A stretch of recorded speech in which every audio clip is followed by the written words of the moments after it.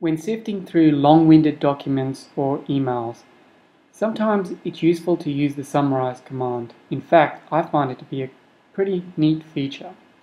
First of all, you need to make sure that it's enabled. So we'll click on System Preferences, go to Keyboard, Keyboard Shortcuts, Services, and scroll down and make sure Summarize is enabled.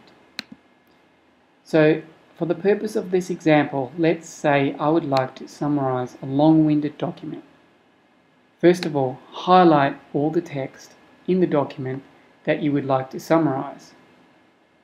So I'm just going to highlight a few pages.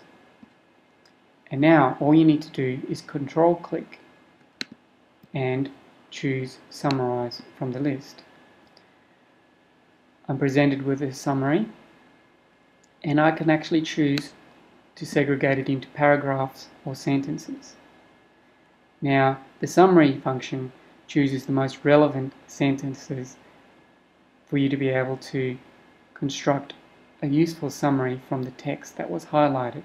You can also expand the summary if necessary or reduce it as well if you'd like to.